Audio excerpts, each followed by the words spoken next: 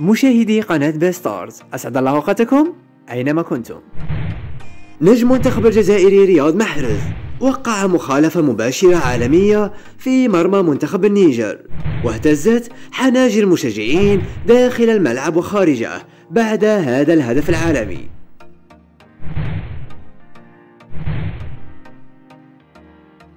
المخالفات المباشرة أصبحت علامة مسجلة لرياض محرز.